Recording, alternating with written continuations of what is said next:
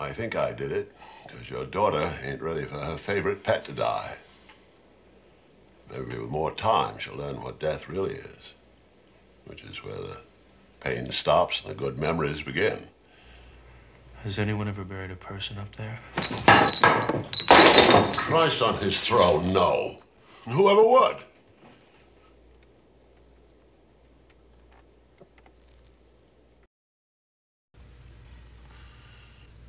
You see, Louis, what I'm getting at. You, you understand. You're telling me that place knew Gage was going to die. I'm saying that